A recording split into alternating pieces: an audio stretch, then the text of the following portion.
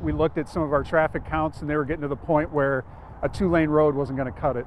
This Sky 8 view shows the progress construction crews are making on Ashworth Road over I-80.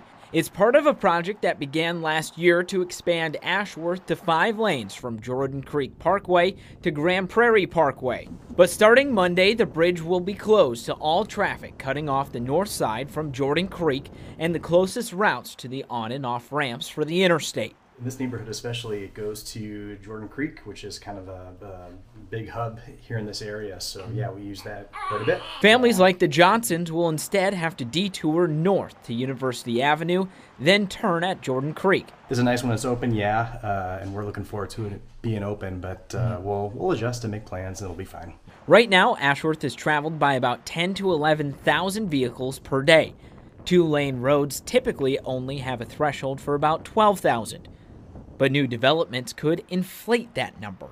The buildings on the corner of Ashworth and Jordan Creek were razed last week to make room for a Ruth's Chris steakhouse and apartment buildings. That's why the city says it's better to expand the road now to prevent a traffic backup in the future. So when developments do come in, we can we can uh, ask them for that right away at the time of the development so that they're not building a building right where we need to put a road. In West Des Moines, Bo Bowman, KCCI 8 News, Iowa's news leader.